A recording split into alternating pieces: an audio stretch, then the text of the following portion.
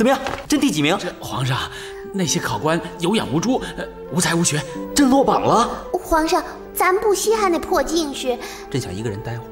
皇上，去！休恨金榜梦不成，悲醒幡然已登峰。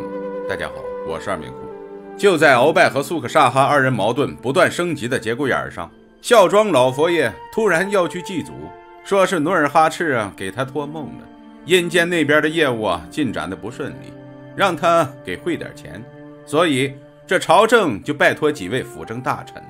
皇帝还小，多帮衬点请太皇太后放心，臣等定将同心同德，辅助皇上。太皇太后一路平安。这装病在家的索尼问他儿子：“你猜老佛爷为什么挑这个时间段祭祖啊？”这索额图随他爹聪明啊，一双狐狸眼微眯，哼，不知道。索尼摇了摇头：“你那大脑瓜的白长了。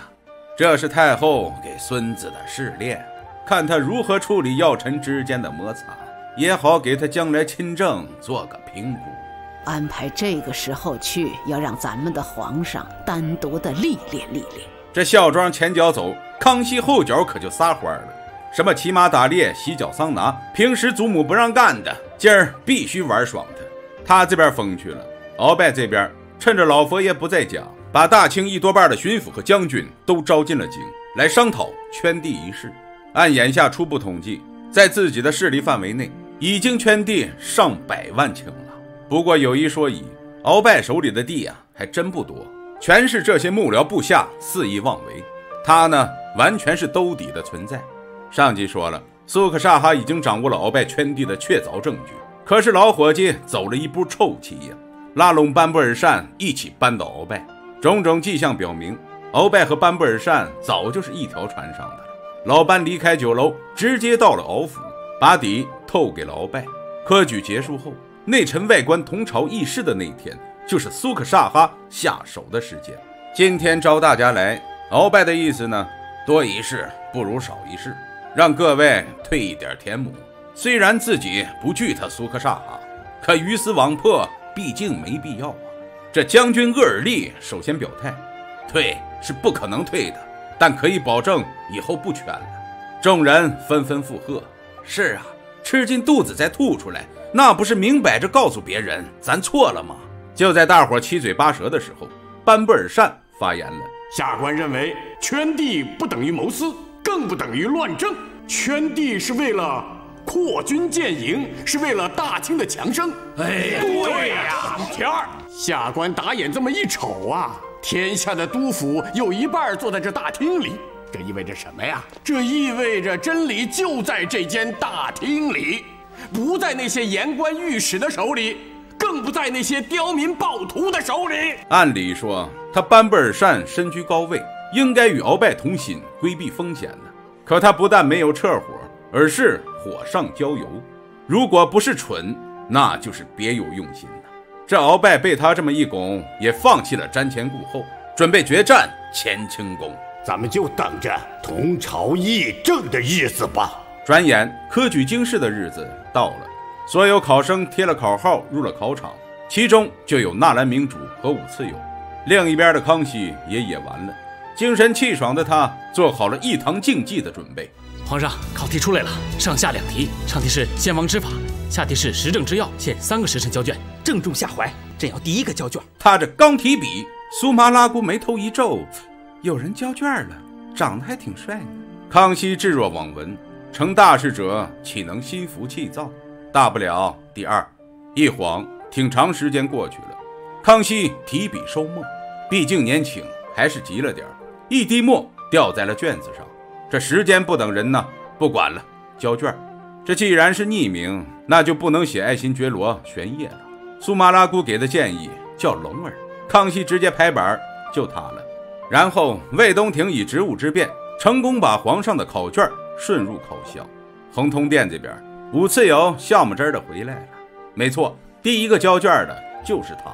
又过了一个多时辰，纳兰明珠也回来了。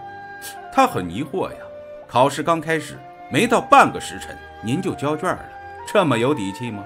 五次有效了，他根本没按考题写，而是自拟一题。论圈地乱国。他在心里演练过无数次的答案，自然笔走如风。将全城鳌拜的恶计批得体无完肤，真是痛快。哎呦，吴兄啊，你这可是闯下大祸了！我就不信满朝文武都是他的同党，天下学子都胆小如鼠。我也不信太皇太后和皇上会坐视不顾，言官和御史都装聋作哑。我今天只是放一把火，且看朝廷如何收拾。他这是拿命在赌啊！赌赢了，功成名就；赌输了，人头不保。说心里话，明珠佩服他呀。不畏强权，端的是正气楷模呀！告诉客栈老板，以后每顿饭给我五哥加俩菜，记我账上。顺便把我的客房调得离五哥越远越好，别打扰他用功。朱爷，您是怕遭连累吧？就你话多。三天后，国子监的窗外，苏麻和魏东亭正在商量谁进去打探消息呢。俩人推来推去，五分钟过去了，最后决定魏东亭去，就因为这五分钟。魏东亭错过了甲科前三的名字，但他也没往心里去。皇上才十四岁，前三不至于。第四名陈山远，第五名丁之奇，第六名黄文新，第七名。这读到最后也没听见龙儿的名字。东亭知道谢了。俩人回到了御书房。面对康熙，那是支支吾吾，不知道怎么开口啊！一会儿说考官有眼无主，一会儿说批审官坐井观天，胸无点墨。康熙看俩人神情就知道落榜了。皇上，您别难过，咱们不跟那些举子们一般见识。你们去吧，朕想一个人待会儿。皇上，去！皇上，此刻的康熙迎来了前所未有的自我否定，拥有最好的师资力量。最先进的教学理念，最成熟的后勤保障，最完善的授课体系，最后换来的是名落孙山，只能说明一点：自己是个废物。失魂落魄地走在御花园的长亭里，想着皈依佛门的父皇，看来出家并不是很糟啊。正想呢，苏克萨哈和季氏找来了。看过朱元璋的都知道，每次科举的状元榜眼探花，必须由皇上亲自裁定。倾城明志，这大清也不例外。此次科举，甲科进士一共九十九人，魏东亭偷听了九十六人，漏掉那一甲前三的名字就在二人手里。希望皇上钦定状元郎。这康熙心底呀，升起了一股莫名的兴奋。卷子不看了，你们说姓名吧。头甲第三名位居探花者，臣等建议取这个叫龙儿的学子。这篇文章啊，立意高远，颇有上古之风啊。师傅，你说那人叫什么？龙儿。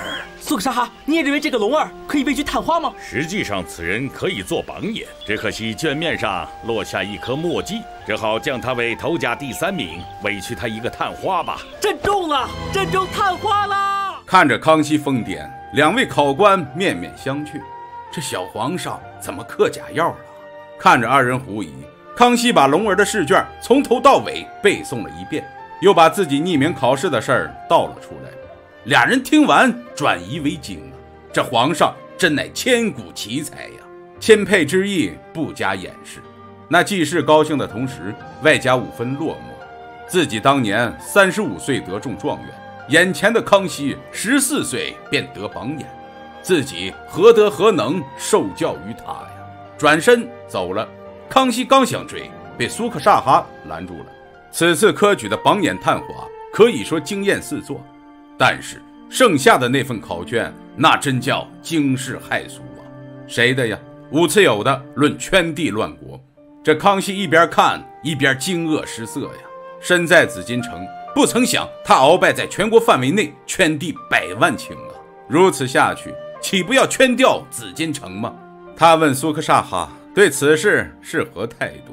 臣不敢说。你是辅政大臣，连你都不敢说，这朝廷中还有谁敢说呢？皇上如果将此人点为头名状元，臣就敢参合圈地的奸臣；皇上如果将此人千刀万剐，臣今后也只好跟着圈地去了。康熙欣慰一笑，明白了。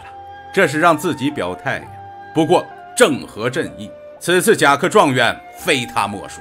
不过自己未到亲政的年龄，不能下旨啊。苏克萨哈一摇头，那不重要，自己已经掌握了大量证据，同时联合了班布尔善和众多内臣，只要您站在正义的一边，摇旗呐喊，扳倒鳌拜，板上钉钉。只要他一倒，您就可以提前亲政了。提前亲政，嗯，好，朕同你们一块儿动手。你告诉索尼，后天同朝议政，四个辅政大臣一个都不能少。他要是走不动，抬要把他抬到宫里去。这下集，本以为万事 OK 的苏克萨哈，却迎来了此生不可逆的滑铁卢。